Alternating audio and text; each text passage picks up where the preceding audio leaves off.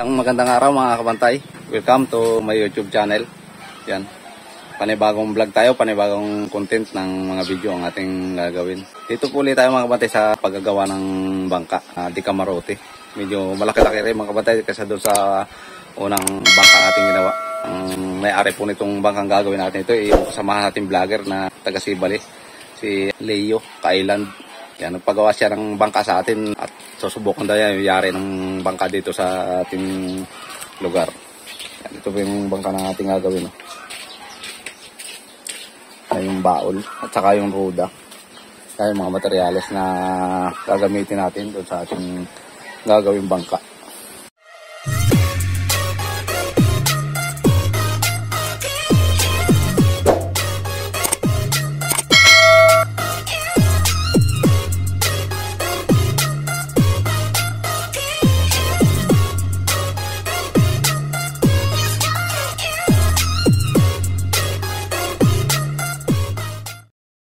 Sana po ipanoorin niyo at mm, subaybayan.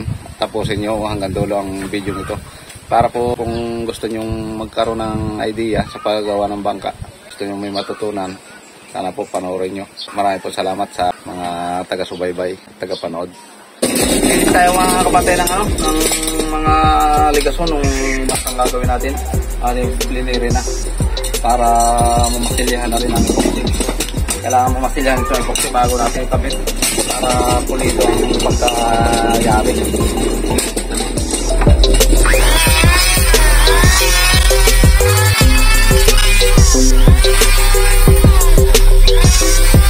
Kulang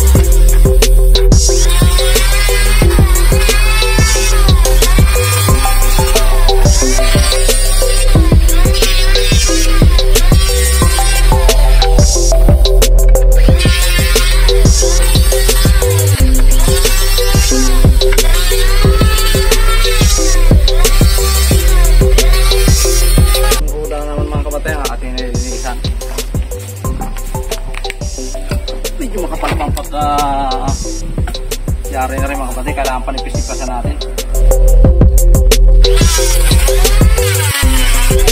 Kaya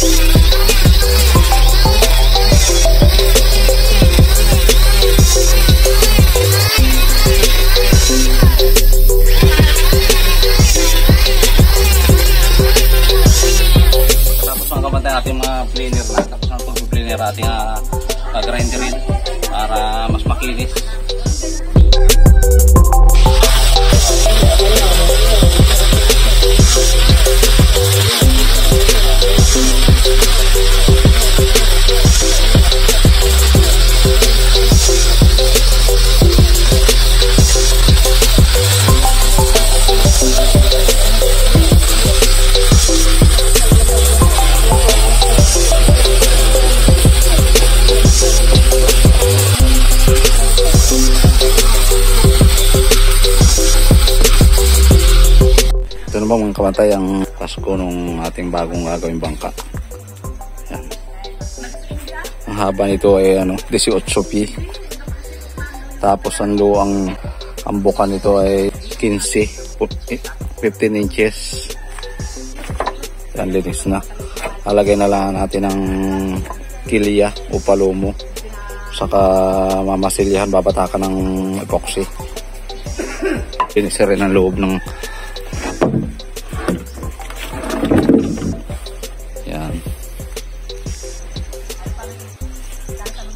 Medyo may ano pala doon, may rumbuhin pa sa unahan. Hindi pa natin narurumbuhan.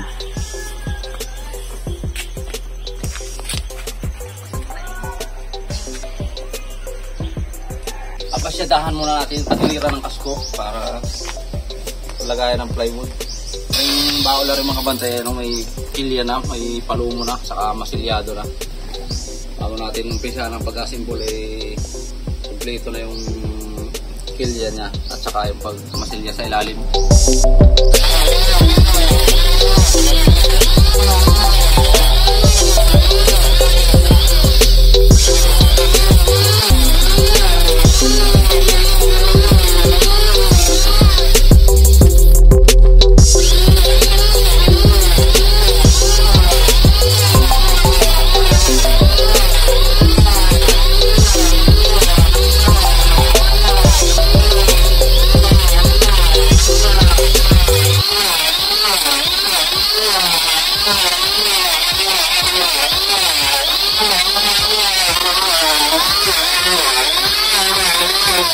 Tapos natin ang basyahan, mabasyadahan ng itong bawol.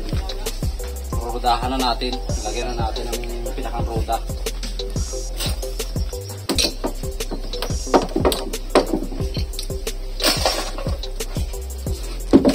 Ah, simulan na natin itong baka.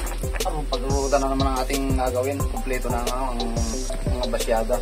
Pati itong roda ito may basyada na. Tapos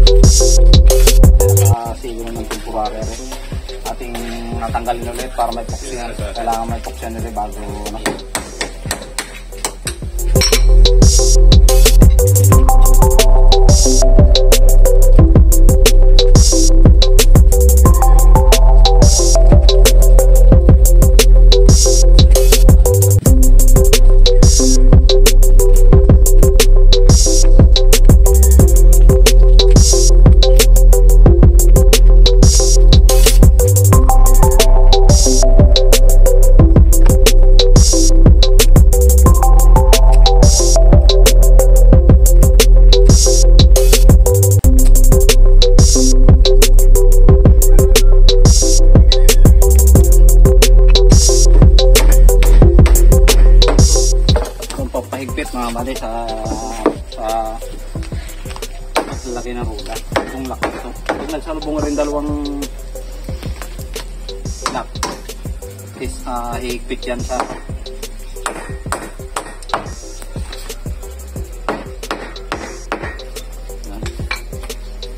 talapat no tumulo na yung uh, pupsi ibig sabihin na yan punong-puno na ang pupsi kung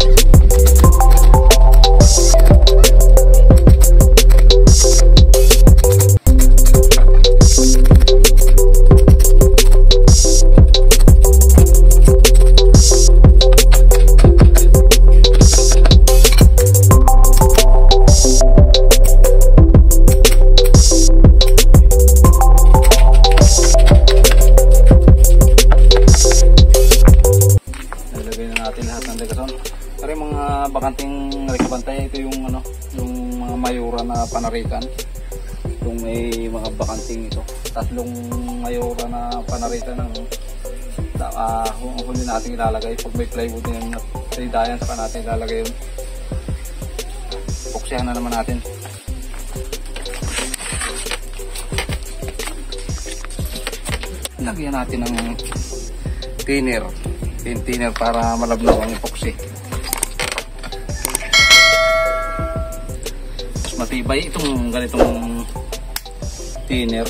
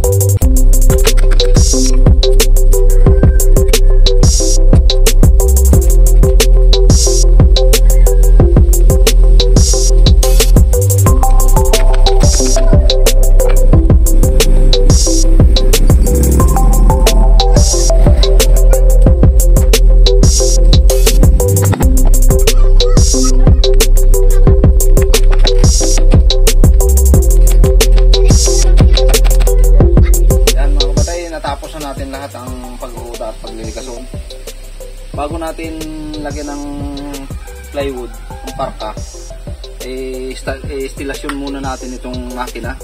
Yung makina ito ay 20 horsepower na ano, Yayama na D-starter. Itong kakabit nating makina dito sa bangkang di kamarote nating nagawa. Itong mga kapatay plataforma nito ay mulawin na nakapatong dito. Dito nakatuhog yung tornilyo. Ito. Tapos ito yung nakabound dito sa baol.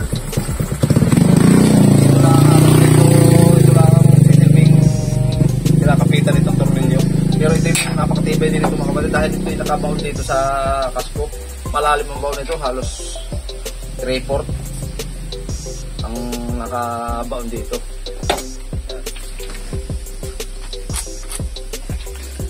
Ayusin natin ang pagka lagay yung pan, plataformang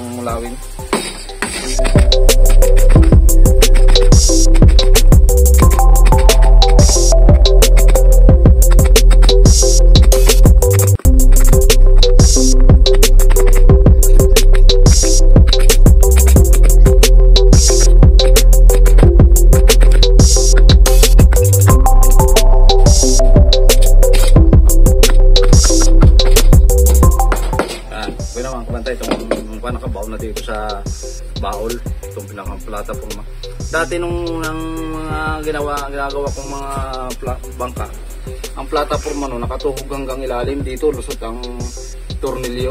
Ngayon, hindi na nabubulok itong baol sa labas pagkalampasan ng tornilyo. Kaya dito ko na lang tinutuhog. Ito namang plataforma ito nakabound dito sa pinakang baol niya.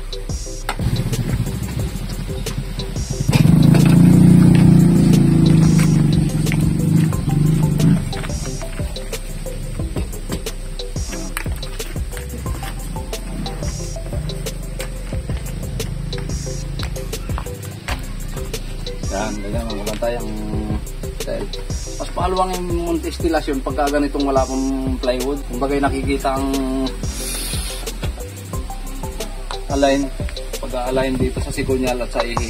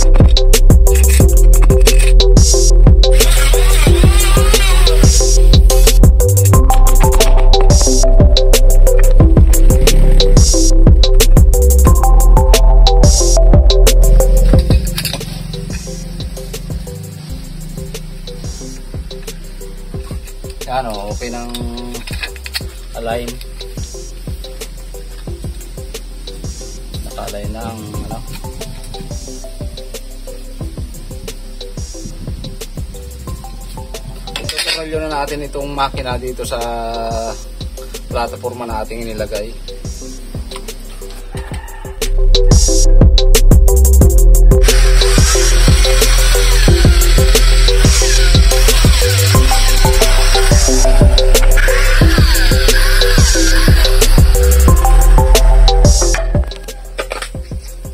Tapos dito natin mga kapatid, papasok itong tornilyo.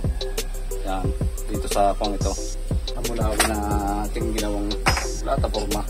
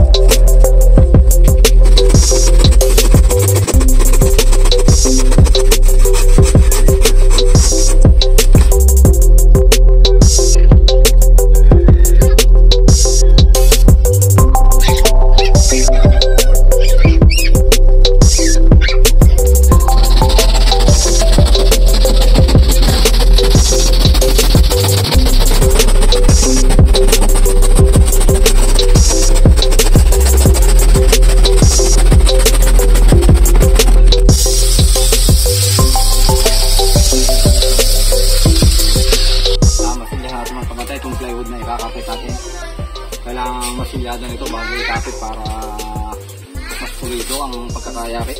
Hmm.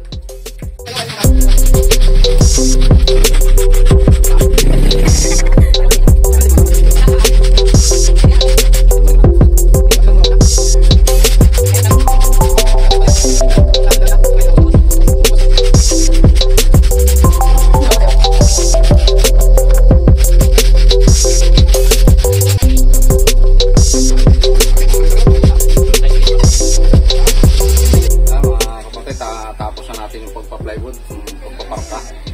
Um, pagkakabit naman ng batsula ang ating gagawin. Yung daydayan.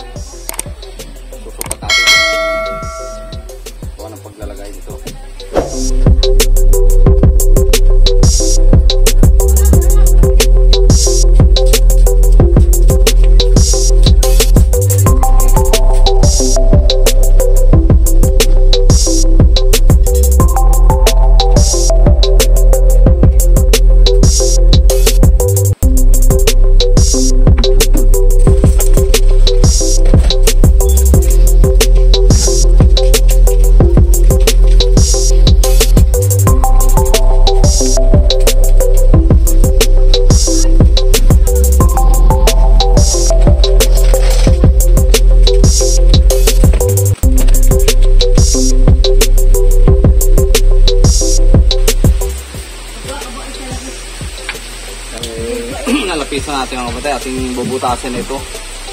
Kailangan ito mabutas natin lampas para may tuhog na, ituhog natin itong mga ligaton.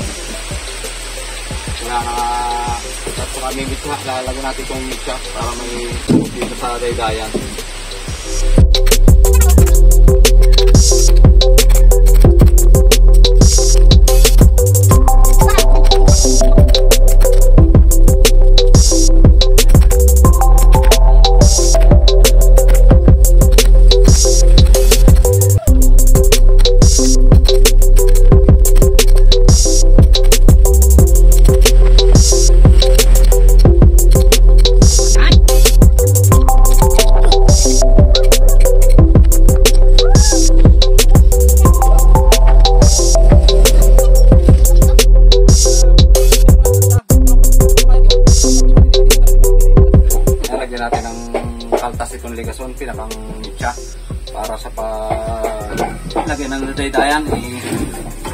Dito sa butas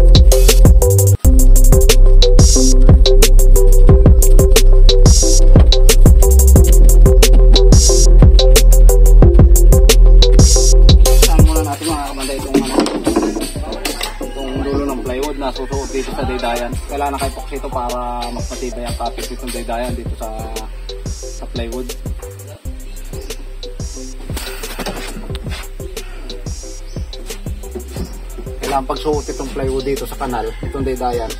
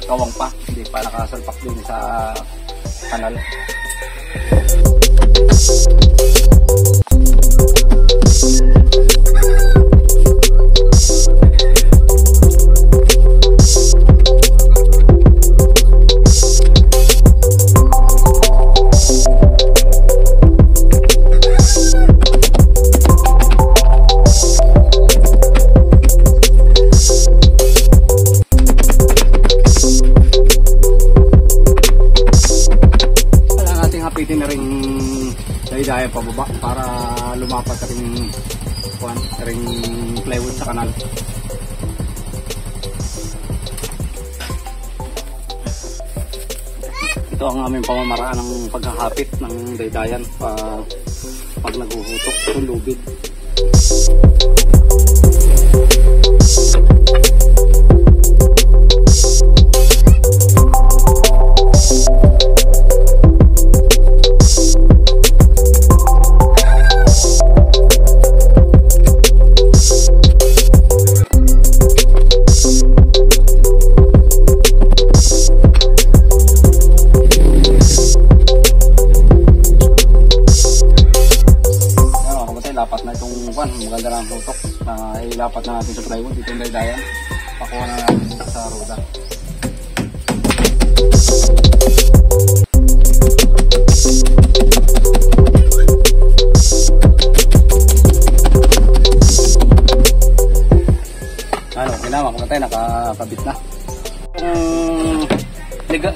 ay lampas dito sa ibabaw ng daydayan.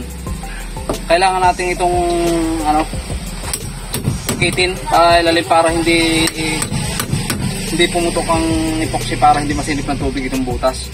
Natin palalalimin.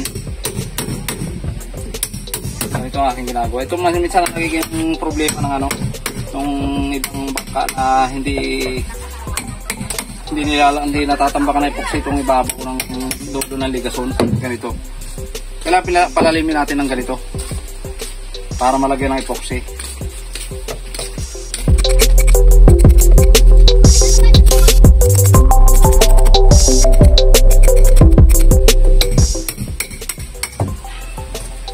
Ayan. Kailangan ganyan mga kapatid. May, may upit ang babaw para yung epoxy yung makapal-kapal. Tapos tatambak natin epoxy. Ganito.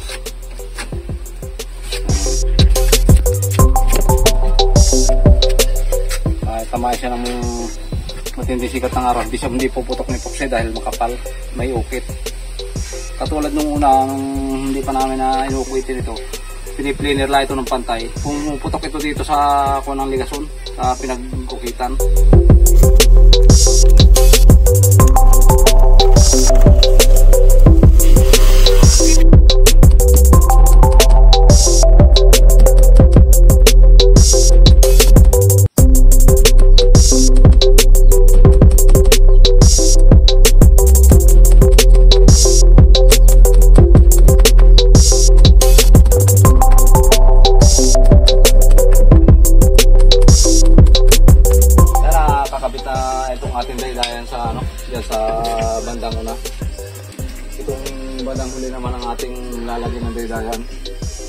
Kaya kailangan natin ilugtong dito sa daydayan na naikabit na natin. Itong pang daydayan na panghuli.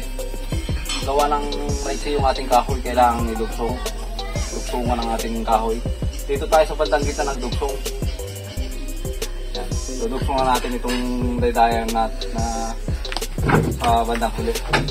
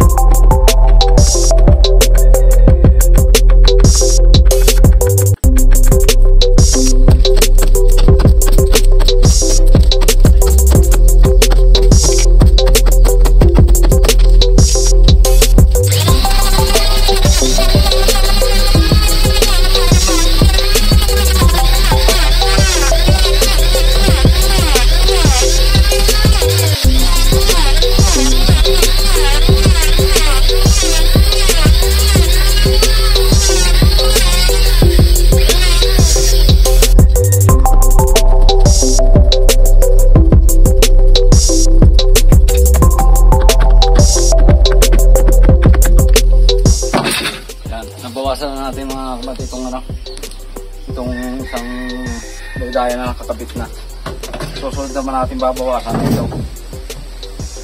Nakapatong ito dito, itong kung ito. Isang sa out, daydayan. Pupuksan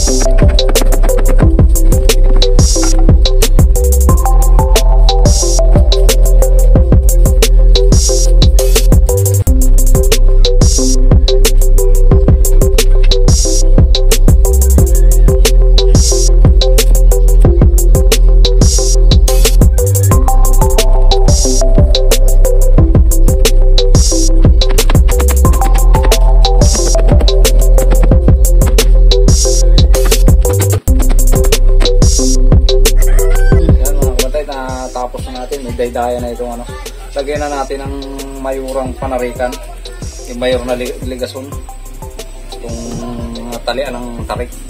Yung na nakakabda na natin. Ito na lang gitna at ulit.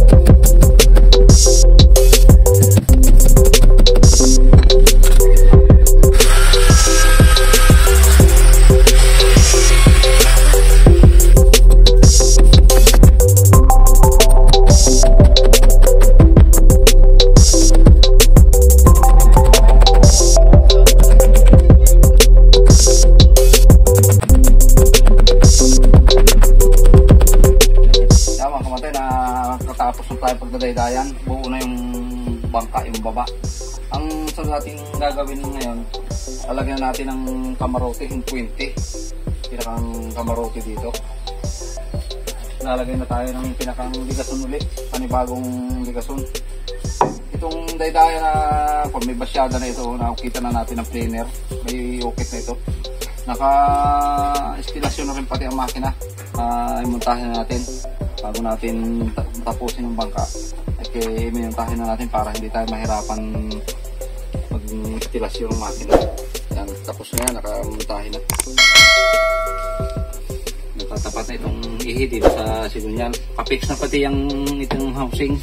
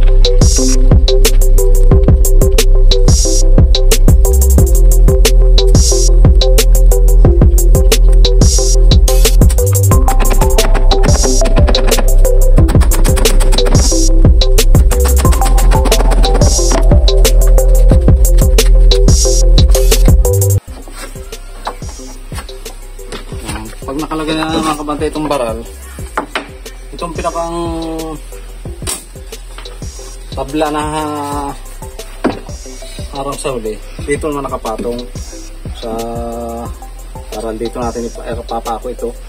Para pag nilagay yung plywood dito may pamakuan din ito. Itong plywood nating taklob dito sa huli yan. Papako na natin ito dito. Lagi na kay epoxy para matibay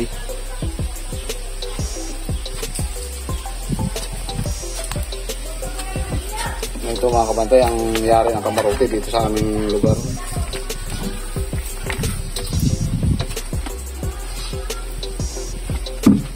Kay gusto niyo magkaroon ng mga kabantay ng idea mga- sa pagkaka, ah, pagkakabit ng kamarote sa ganitong bangka.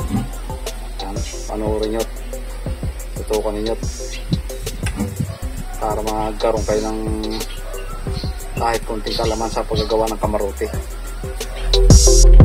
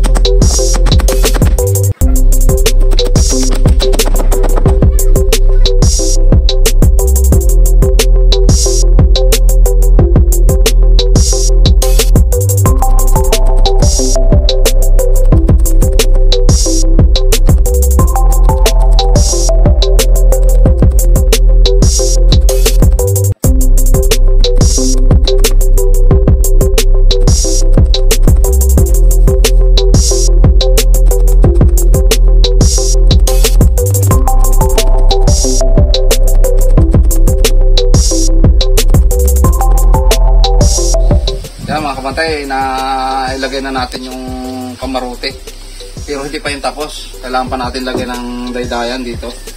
Malapit ito matapos. Halos ito na lang ang kailangan natin ilagay dyan. Poksyan muna natin bago natin ikapit itong daydayan ng kamarote. Mati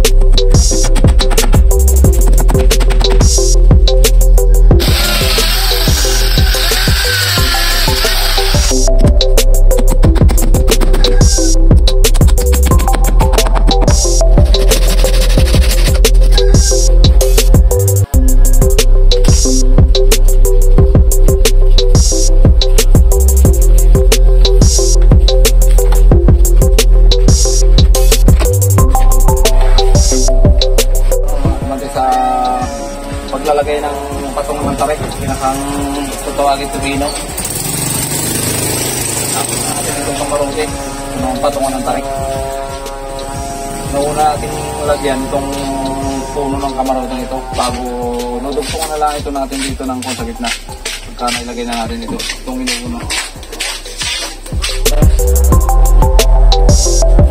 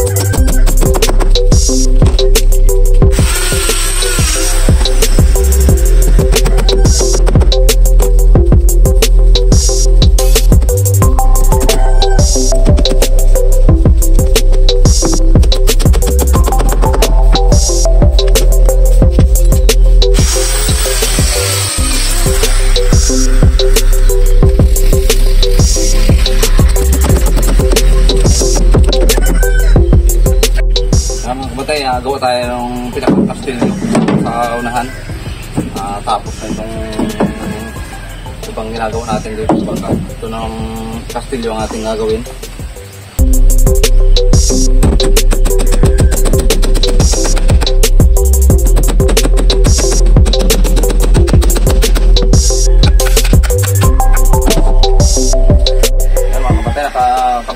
tayo pero wala pang korte. Alagyan na natin ng ano, antay.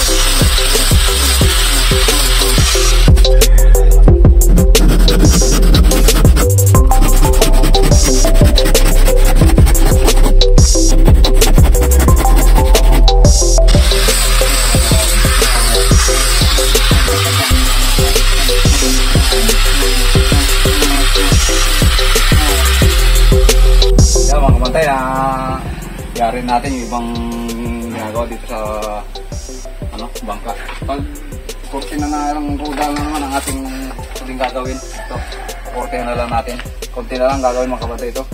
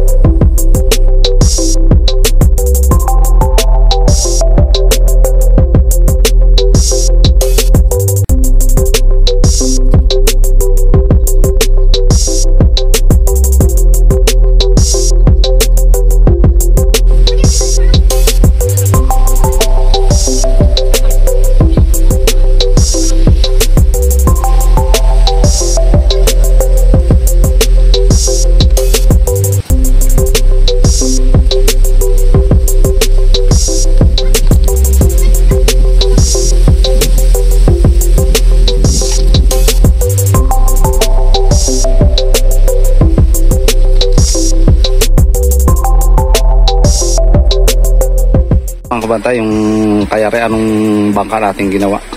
Bangka ni Idol Kailand sa lugar ng Sibali.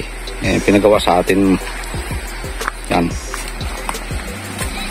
Yan ang yari dito sa aming lugar. Um, yan natin ng loob. Yan. Kaya ko sa inyo mga kabantay ang yari at purma.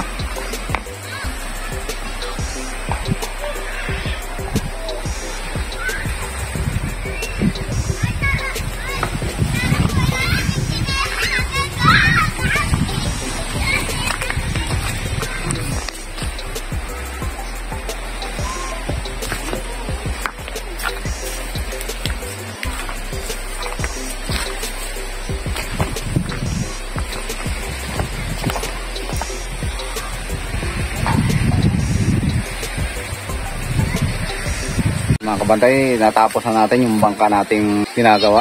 Yung bangka po ni Idol Kailand. Sana po uh, nagustuhan ninyo ang video ito at may natutunan din kayo ang, sa paggagawa ng bangka. Yan, maraming maraming po salamat sa inyong panonood at pagsubaybay sa aking mga ina-upload na mga video mga kabantay.